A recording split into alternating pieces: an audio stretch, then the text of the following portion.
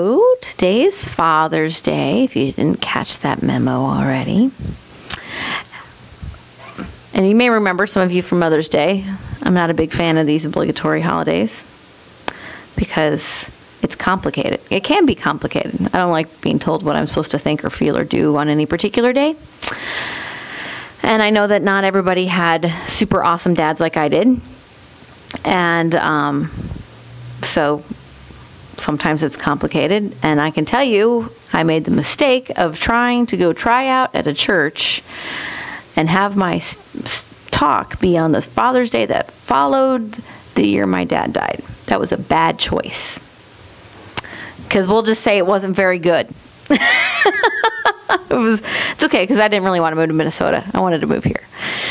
But it can be complicated these holidays. So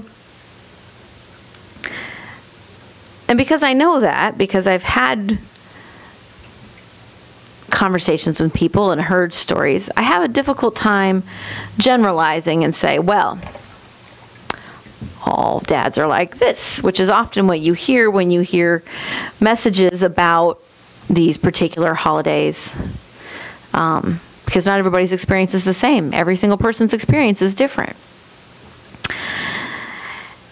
And so instead of trying to make a broad assumption about things, which just happens if you try to go buy a card at the card store, yeah. Um, I asked you all to tell me some stories about your dad. So instead of telling a broad story, I could tell specific stories about dads. And so the stories I heard were stories of tenacity and compassion and love. Pretty good stories I got. And so I think that one of the best ways that we can honor those who have come before us, whether they're still alive or whether they've passed on, is to take the lessons that we've learned from those people in our lives and pass them on and improve them and make those part of our own lives. What are those qualities? So we're going to start with Sheila's dad. She said, I'm going to tell you what she wrote. She said, he quit school in the eighth grade to work and help take care of his mother and two siblings because they were so poor. He always wanted to be a doctor, and fishermen and locals let him remove fishing hooks and stitch them up on many occasions. Ow.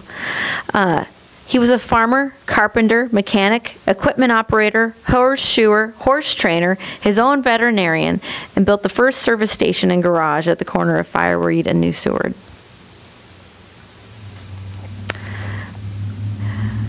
That's tenacity and courage.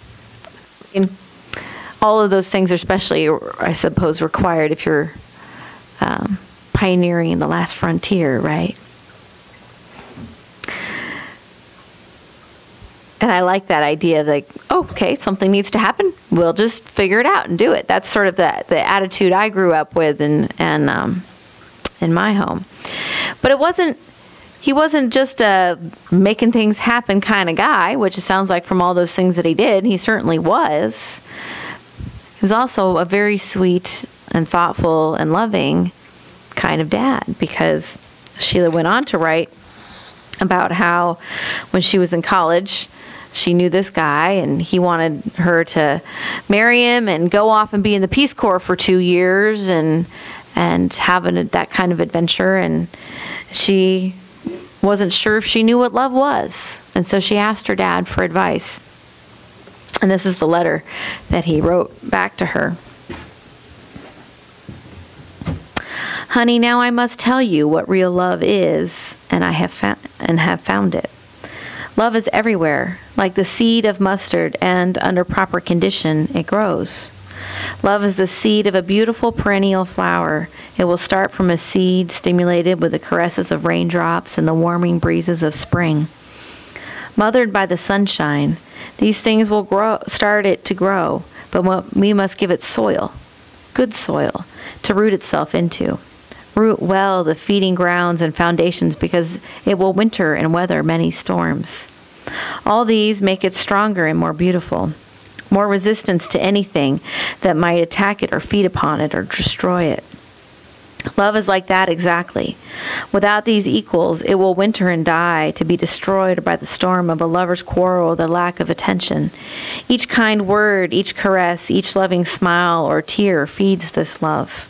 Each misunderstanding that is corrected makes feed that grow that makes it grow stronger. If one part of the plant weakens, the other part, if cared for right, will grow all the stronger and will seem to carry the load of blossoms until the other part is back to health. Many a plant starts, but in love any more, it seems like few really finish. The longer a plant grows and the more care it has, the more beautiful the plant of love will be. I hope your plant will you to you and yours be the most beautiful in the world. dad wisdom.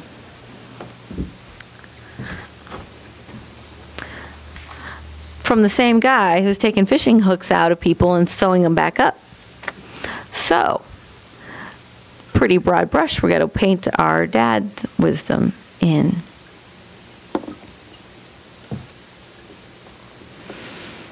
That's not the person she ended up marrying, by the way, if you didn't catch that.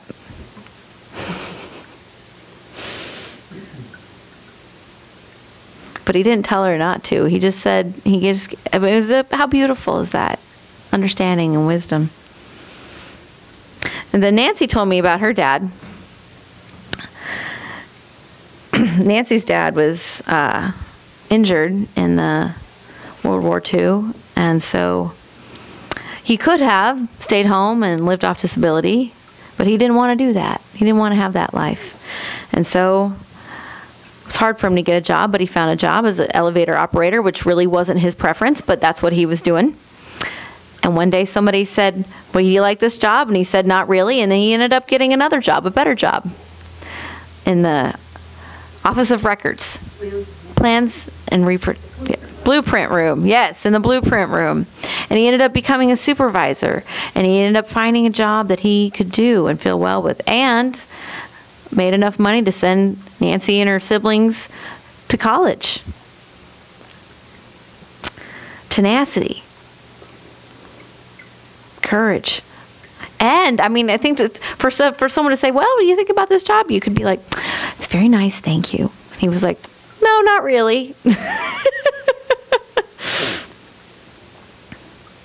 but then she told me another story because I like, you know, that's a nice story. She told me another story about when she first had learned to drive.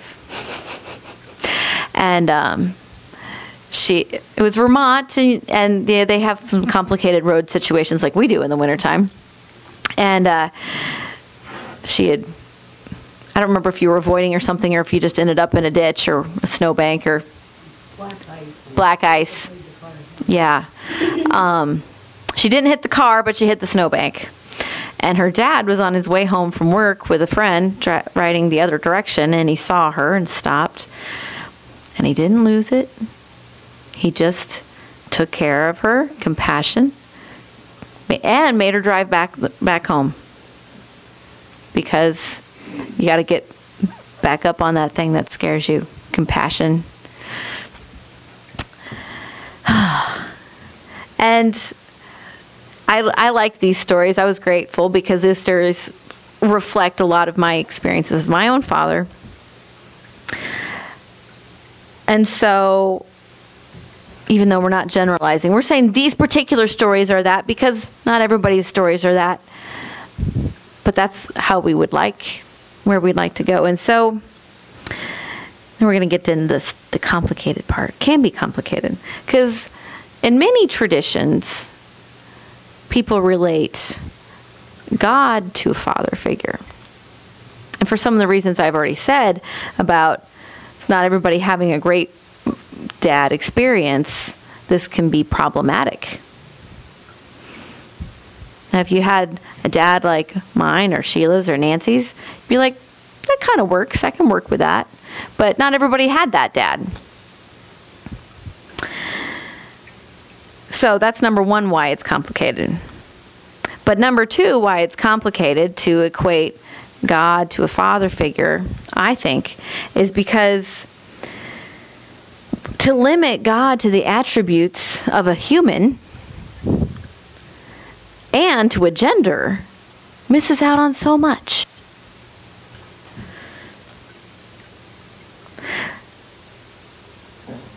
Some folks resist this idea of God being the universal energy that is in and through everything, the one presence and one power in our universe, because it seems so impersonal.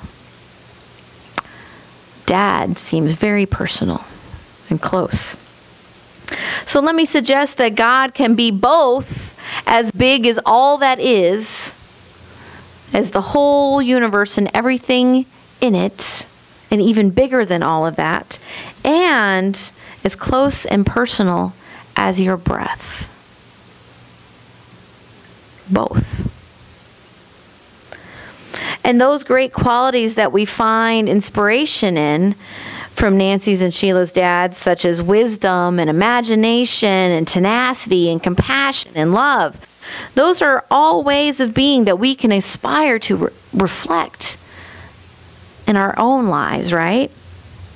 But they're not attached to males only. And so we can take that learning beyond beyond a personal anthropomorphized God concept? What if we realize that the closest experiences we have of spirit or God, whatever you want to call it, and all that is, it is our best expressions of divine wisdom. Our closest experiences are when we are expressing and uh, witnessing other people expressing their highest version of one of those divine ideas that we talk about all the time wisdom, love, imagination, joy. It goes on and on. Abundance.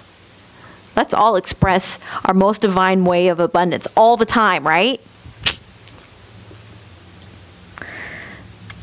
So we experience spirit in our prayer times and in each other. We sometimes think we have to only, that's where we go to meet God in that time. But what if we walked the earth knowing that all moments are God moments?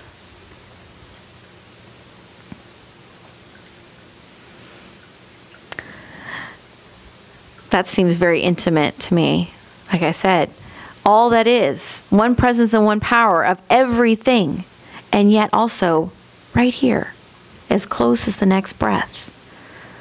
Because if God is everywhere, eh, through everything, if Spirit is everywhere, through everything, then here's that moment too, right?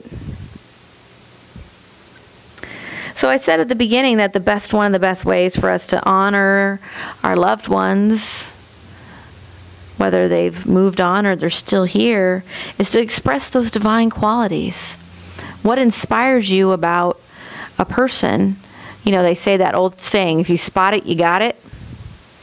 So if you really admire the uh, tenacity or the wisdom of someone, that's probably because that's something in you that you have as well, maybe wanting to call forth more. Think about it, it's true. Uh, so usually the things that annoy you about somebody also are the things that annoy you about yourself. Oops. Sorry. You didn't want to hear that. So when we see that in someone, I think that's the best legacy we can have. And it's not only for people, maybe our fathers, maybe someone else who's inspired us in our lives to say, you know, I saw this this compassion in this person and that really inspired me. So i want to do more of that to best express who i am. Well if we don't know someone who expresses something but we think that that's really who we want to be well it's a divine idea right? So then it is there and all that is and that is our inspiration. So whether you are calling forth to follow in the footsteps or calling forth to expand on the imagination of your father, the joy of your mother, or another divine quality straight from the direct oneness that we experience that is God, Spirit, divine mind, fill in the blank, whatever you want to call it. go forth and express your best.